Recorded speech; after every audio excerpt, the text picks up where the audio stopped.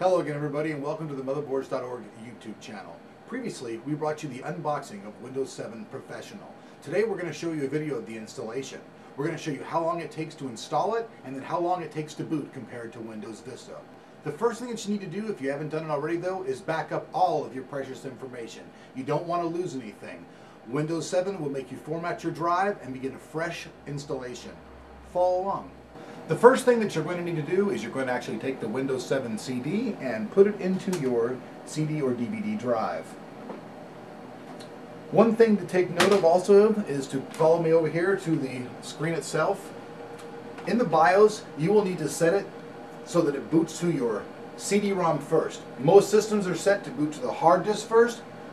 Many BIOSes are different. Inside of this one, this is the uh, EVGA SLI classified motherboard. In this one, you go in here and it has boot device.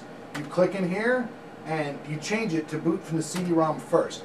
Your system may be different, but make sure that you do this. Otherwise, you'll probably skip the installation process. So, if you follow the procedures I've so far described, you should actually be on this screen. This is the first screen of the Windows 7 installation process. There's a next button. All you do is simply click that and then hit install now. You'll have to accept the license agreement and once again hit the next button. This they have the options of an upgrade or a custom advanced. I would suggest using a custom advanced installation as this is the freshest way to do it. This will format your system and create like a brand new system for you. This runs better and is actually a cleaner way to do the installation. Okay, in this system, I only have one hard drive. You may have more than one in yours. Whatever hard drive that you're going to be installing onto, you need to just simply click that hard drive, choosing it, and then hit the next buttons. If it says you have files from previous Windows, you know this, go ahead and click OK because it's going to erase them all. Windows has now began installation.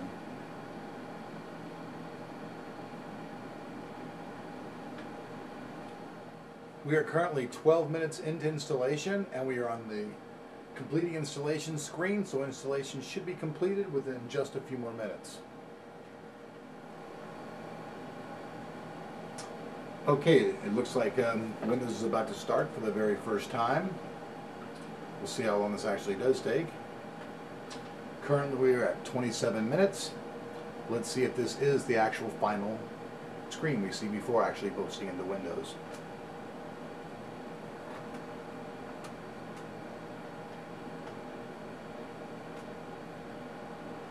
Says the system right now is currently checking the video performance of the system.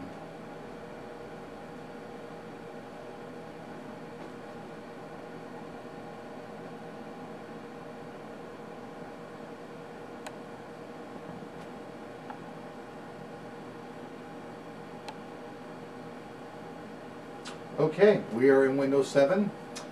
We have uh, finally actually booted into Windows 7. I'm going to stop the time clock here that is basically almost 28 minutes. 27 minutes, 51 seconds. So 28 minutes to fully get your system installed with Windows 7. Um, this will not really be all that you have to do. Your system will probably still want to install some upgrades and you still got to take into consideration that you're going to have to reinstall all your programs. So to undergo this task, I'd give yourself actually a couple of hours.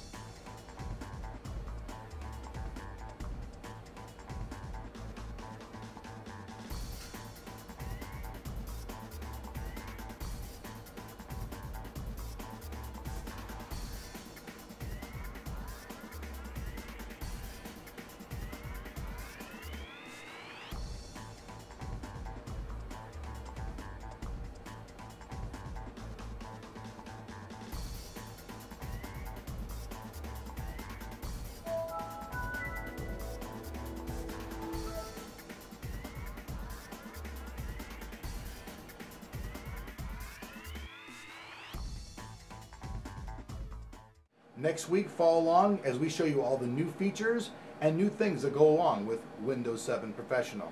Thanks a lot.